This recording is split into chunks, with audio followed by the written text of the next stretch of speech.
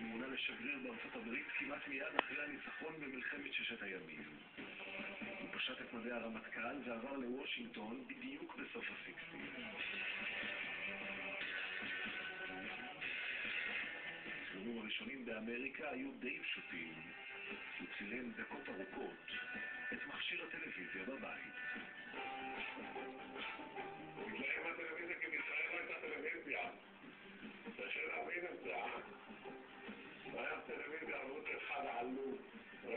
פנטסטי בשביל ידע. אני, כשהגעתי לארצות הברית מאוד ראשונה, אני ישבתי על הטלוויזיה, אני חושב שבוע ולא רצתי. הייתי כל כך אני נכנסתי של טלוויזיה. תשמעו, אני הסתובבתי שם ב-72 כמו אליסה בארץ ספלו.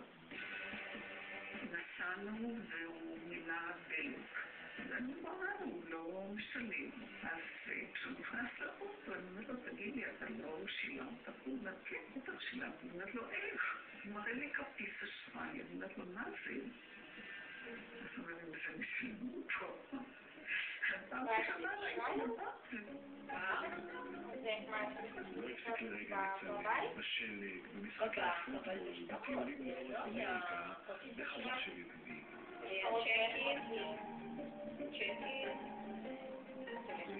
המצלמה אפילו לאירועים דיפלומטיים. הנה כאן סגן נשיא ארצות הברית יובל המסקי. האמריקאים נאלצו להתרגל לשגריר שהגיע עם המצלמה לכל מקום. כמוני הוא היה. זה מה שעבר, לקרוא לך, ואתה שם היית שנה עם בוא האביב היה רבין מתגנב מהשגרירות כדי לצלם את פריחת עצי הדובדבן על גדות נהר הפוטומק בוושינגטון. הדרך לבמה הוא היה אהבתו הגדולה כצלם. דווקא אנשים כמו יצחק, שלא עסק ביום-יום בדברים האלה. בשביל הצילומים וצילומי הטבע יש פורקן יפה מאוד.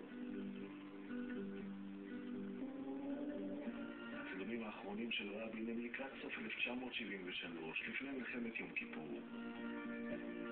המלחמה הייתה סוף עידן התמימות, קץ האופוריה הישראלית, וגם הסוף לתחביב של רבין. כאילו מעתה לא ראוי שלאיש ציבור יהיה תחביב, כאילו אסור לו ליהנות מחיים פרטיים.